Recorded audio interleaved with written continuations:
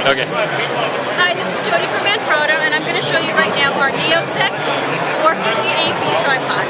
So the cool thing about this tripod is you can pull the legs out to extend it, and then when you want to put the legs back down, you just press the button. It's a very easy feature to put the legs up and down. Uh, it's a aluminum tripod. It's um, lightweight for an aluminum.